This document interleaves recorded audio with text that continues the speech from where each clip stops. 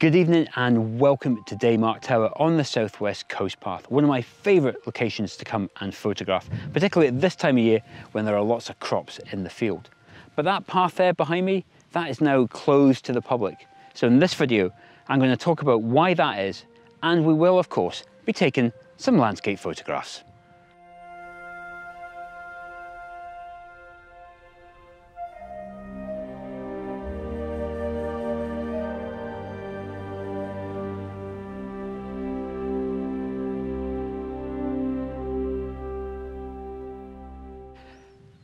So why is the path there behind me closed? Well, reading the sign down there, it appears that people have been using this access point, going into the field, wandering about and causing damage to crops. So the farmers had no choice but to close access to the field to allow the crops to re-establish this year, which I think is fair enough.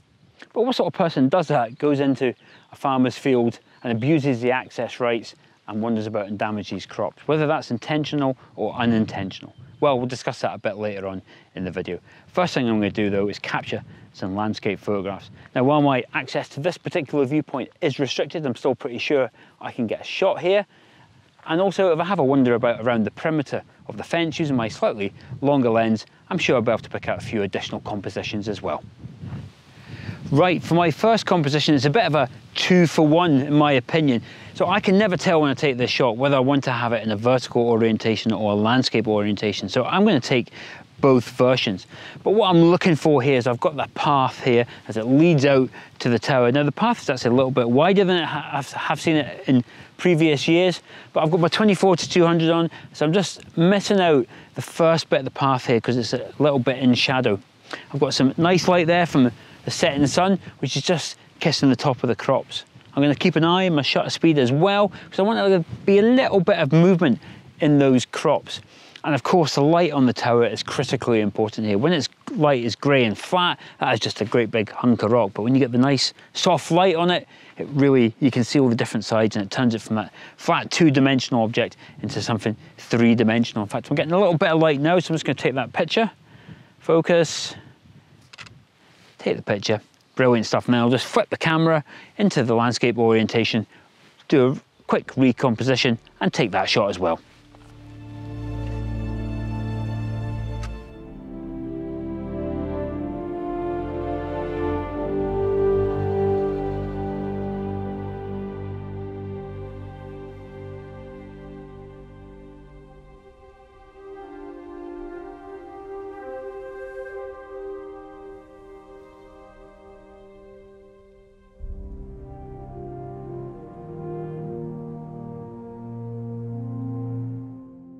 Well, I'm reasonably happy with those shots. I've got a sneaky suspicion. I think I'm gonna like the vertical one. I tend to do like the vertical one more than the horizontal one more often than not. But you know, like I say, always good to take them. Uh, let me know in the comments below which one you prefer. So I've come round the field now and I'm facing a tower at a slightly different angle.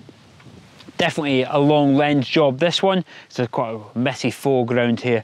And I've got one of those, uh, I think they're called tram lines in the field. I learned this actually on Jeremy Clarkson's farming program on Amazon.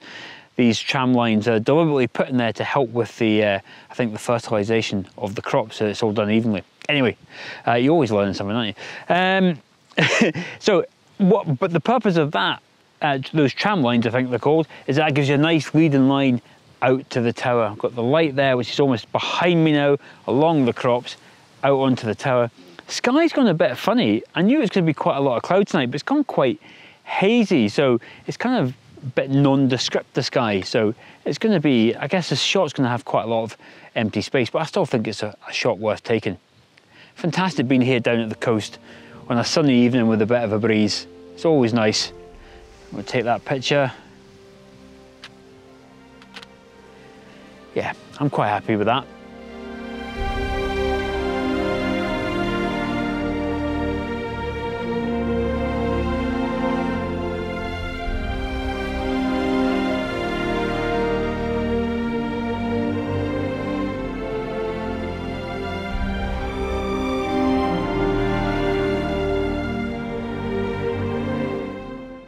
Well, I'm pretty happy with my evening's work. I think I've got a nice selection of photographs there, all taken from within, oh, sorry, outside the perimeter of the field. No need for me to, to wander inside there to get a shot. However, I am looking forward to that path opening up again and I can get in there with my wide angle lens. At the top of this video, I did ask the question, are photographers at fault for causing this field to be closed? No, photographers aren't at the root cause of the issue, it's just people. In fact, when I was down there taking pictures uh, where, where the path is out to the tower, two separate groups of people asked if I wouldn't mind moving aside so they can go down to the tower and have a look. I did say, look, you know the tower's closed because of the access issues, because people are going in there damage, and said yes, and, and proceeded to go over the fence and then Now, they didn't do any damage, but I think it just shows you, I guess, some of the, the attitude towards these things that, that, that people have. But again, these is all in the minority, and I would never badge all photographers the same because it's, it's about being a person that's the problem, not the fact that you happen to have a camera with you. Now, I'm not going to certainly stand here and preach and, and say that I'm all perfect. I have probably done things that I probably shouldn't have done previously. But important things, I'm trying to learn from that, and I'm trying to understand the impact my photography has on the environment. I love these places and I love photographing them, but I also need to be aware that the impact I'm having. So I'm trying to learn and hopefully this video will get you to learn as well and, and just think about the environment in which you're photographing. But that's it from Daymark Tower. I hope you've enjoyed this video and I'll see you in the next one.